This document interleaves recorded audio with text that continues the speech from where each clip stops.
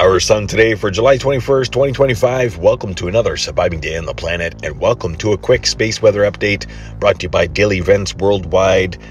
Having a look here at the last 48 hours on our star, as we've only seen one moderate C class solar flare from outgoing sunspot region. I did show a little bit of the plasma filament that jumped through the sunspot.